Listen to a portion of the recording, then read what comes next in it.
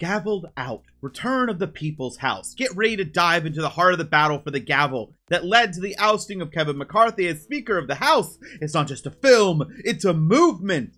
This is put out officially by Matt Gaetz. You know, the one that people kept saying just wanted attention when he was doing the actual ousting of the Speaker.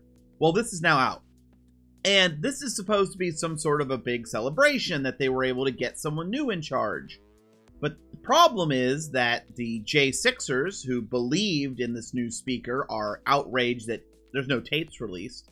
Um, and now we have reporters talking about a call that's happening today, where the new speaker is basically telling Republicans to lower their expectations and he wants to pass a clean CR bill. Yeah. What was that final thing that really made them fully turn on Kevin McCarthy? Oh, yeah. Kevin McCarthy decided that the Republicans should pass a clean CR bill. So they have someone that he's made a whole film bragging about replacing. And the replacement thus far is essentially the same.